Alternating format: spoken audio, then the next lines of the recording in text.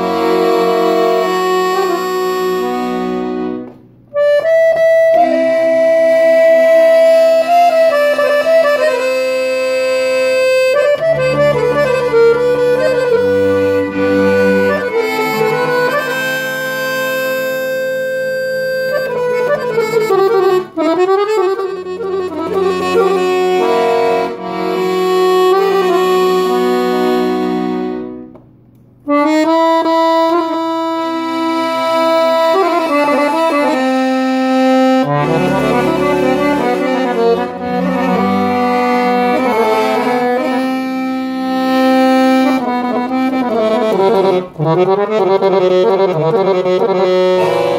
you.